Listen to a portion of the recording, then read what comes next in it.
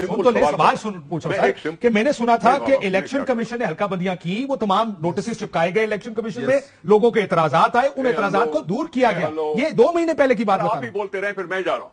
आप सर वैसे मेरी बात सुने सर अब मुझे लगता है या तो आप प्रोग्राम करते नहीं है या फिर आपकी बर्दाश्त उतनी है मैं क्या करूँ मैं आपसे सवाल भी ना पूछूँ?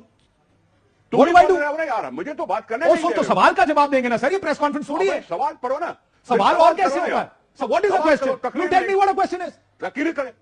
तकरीर नहीं भाई भाई तकरीर सर। बराए मेहरबानी मैं आपको प्रेस कॉन्फ्रेंस करने का तरीका नहीं बताता मुझे प्रोग्राम करने का तरीका मत बताया खुदा हाफिज सर मर्ज़ी आपकी मैं तो सिर्फ़ बड़ी मेहरबानी आपने जाना आप जाए। बराए मेहरबानी इतना समझ लिया करें कि एक इशू है मैं आपको ये बता रहा हूँ जो कि आप जा चुके हैं कि दो तीन महीने पहले ये पूरी एक्सरसाइज हुई है जिसमें हल्का बंदियों का जहाँ तक मैं जानता हूँ ये मुझे पीएमएलएन के किसी साहब ने बताया कि वो सारी लिस्टें लगी इलेक्शन कमीशन में ये लगाई इसलिए जाती है कि किसी को एतराज़ हो वो अपना एतराज़ जमा करा दे।